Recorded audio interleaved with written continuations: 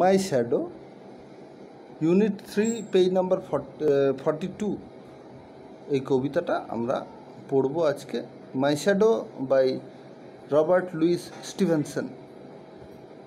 এখানে ছোট ছোট্ট বাবেলের মধ্যে দুটো কোশ্চেন দেওয়া আছে। বলছে do you do you know whenever there is light someone follows you have you ever wondered who it is জিজ্ঞেস করছে যে যেখানেই লাইট থাকে, সেখানেই আমাদের প্রত্যেককে যেন কেউ একজন ফলো করে। এবং তুমি কখনো কি ভেবে দেখেছ সেটা কি? এবং খুব স্বাভাবিকভাবেই আমরা বুঝতে পারছি কার কথা বলছে। শ্যাডো আমাদের প্রত্যেকেরই, আমরা যদি আলোকিত জায়গাতে যাই, তাহলে আমরা আমাদের প্রত্যেকেরই শ্যাডো পড়বে। তো সেই শ্যাডো ছায়াকে নিয়েই এই আমাদের কবিতার বিষয়বস্তু এবং কি বলে? না? একটা বাচ্চা ছেলের দৃষ্টিভঙ্গি থেকে এই কবিতার কথাগুলো যেন বলা হয়েছে। দেখি, আমরা কবিতাটা পড়ি।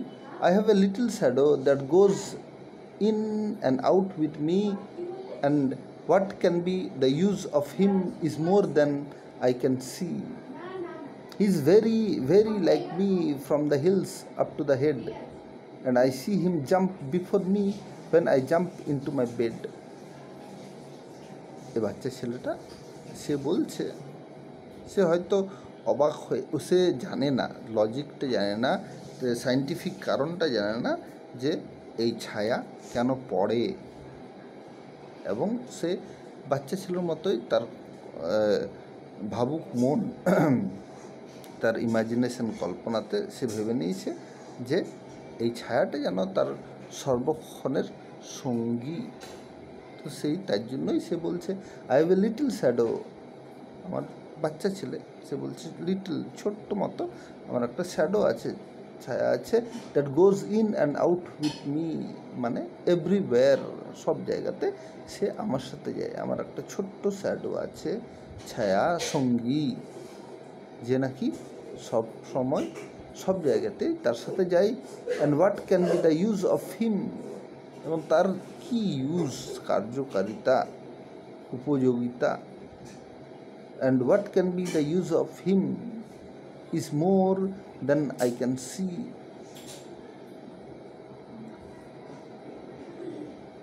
সে তার মানে বুঝতে পারছে না তার কি উপযোগিতা। সেটা তার মাথায় ঢুকছে না। শুধুমাত্র সে দেখতেই পায় তাকে।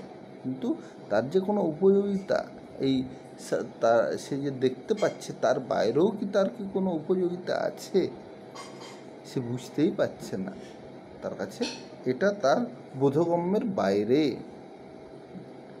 এবং বলছে কি না he is very very like me from the heels up to the head এবং বলছে, পা থেকে মাথা অবধি বলছে হুবহু আমার মতোই এবং ও আমার মতোই কাণ্ড কারখানা করে। কি করে? And I see him jump before me আমার আগেই সে লাফিয়ে ওঠে। When I jump into my bed আমি যখন বেডে উঠতে যাই, সে আমার আগেই সে আগে উঠে পড়ে। এবং কীরকম তার বৈশিষ্ট্য দ্য ফানিয়েস্ট থিং ফানি মজার, সবচেয়ে মজার জিনিস হচ্ছে কি? না the funniest thing about him is the way he likes to grow he likes to grow সে যেরকমভাবে বড় হতে পছন্দ করে বা বড় হয়, বৃদ্ধি পায়। কীরকম? সেটা হচ্ছে মজার একটা জিনিস। নাকি? The funniest thing about him is the way he likes to grow not at all like proper children এমনি প্রপার এখানে প্রপার চিলড্রেন মানে বোঝাতে চাইছে যে এমনি সাধারণ শিশু, মনুষ্য শিশু যেরকমভাবে আস্তে আস্তে, আমরা প্রত্যেকে একদিনে কি বড় হয়েছি? তা নয়, ধীরে ধীরে বড় হয়েছি। তো বলছে যে তাদের মতো তার বৃদ্ধি বেড়ে ওঠা নয়।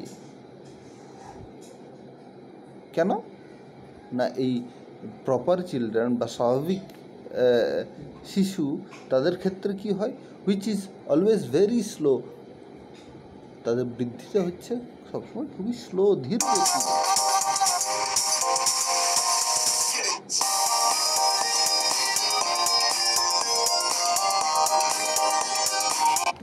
সবসময় ধীর গতির।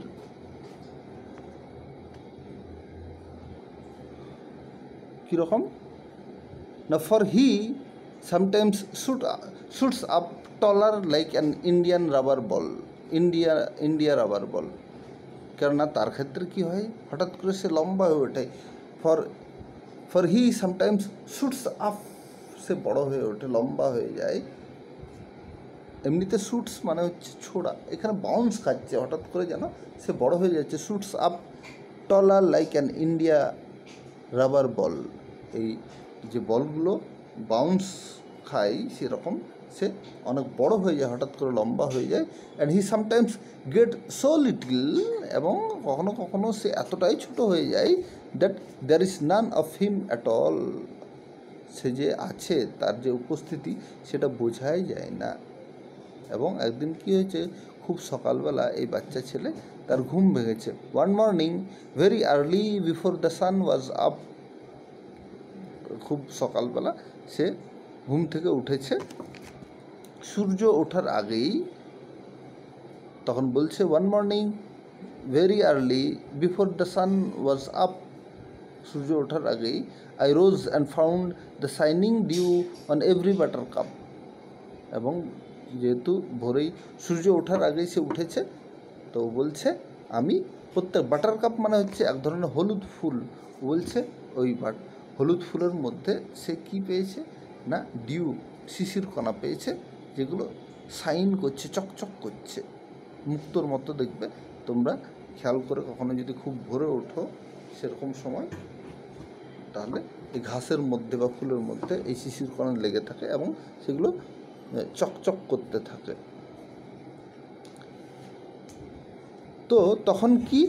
না, তখন কিন্তু সূর্য যেহেতু ওঠেনি তখন সে বাচ্চাটা বলছে but my lazy little shadow like an arrant sleepy head O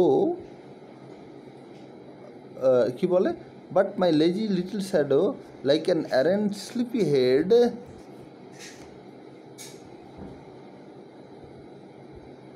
had stayed at home behind me and was fast and be- in bed. বলছে যে, আমার সব সময় তার যে সঙ্গী, এই শ্যাডো তখনও কিন্তু তার সাথে আসেনি। এবং বলছে সে কি করছে? বাচ্চা বলছে but my little but my lazy little shadow তাকে লেজি বলছে। অলস কুড়ে প্রকৃতির like an arrant sleepy head arrant sleepy head arrant মানে হচ্ছে এক গুয়ে বদমেজাজি স্লিপি হেড ঘুম কাতুরে অলস, যে একটুতেই ক্লান্ত হয়ে যায়। সে অলস ক্লান্ত হয়ে কি করছে? Had stayed at home behind me সে আমার সাথে আসেনি। যে আমার সব সর্বক্ষণের সঙ্গী সে আমার সাথে আসেনি। সে রয়ে গেছে বাড়িতে। Had stayed at home behind me এবং কি করছে? আসেনি। তার বদলে সে কী করছে? বাস ফার্স্ট অ্যাসলিপ অ্যাসলিপ মানে ঘুমন্ত অবস্থা। ফার্স্ট গভীর ঘুমে আচ্ছন্ন হয়ে আছে ইন বেড বিছানায় পড়ে পড়ে সে গভীরভাবে, গভীর ঘুমে আচ্ছন্ন হয়ে আছে। আসলে ব্যাপারটা কি হয়েছে? না, এই বাচ্চা ছেলেটা সে বুঝতেই পারছে না। আসলে তার মাথায় ঢুকছে না যে আলো না থাকলে ছায়া পড়বে না। হয়তো আলো আছে কারণ সকাল হয়ে গেছে আলো। কিন্তু ওই যে সূর্য রশ্মি, সেটা তখনও পড়ছে না ডিরেক্টলি যার ফলে তার কি বলে ওটাকে ছায়া সেটা দেখা যাচ্ছে না। এবং তখন এই বাচ্চা ছেলে তার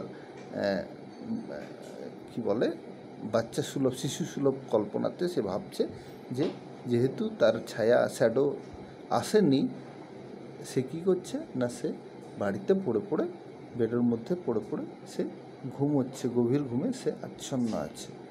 ঠিক আছে তাহলে।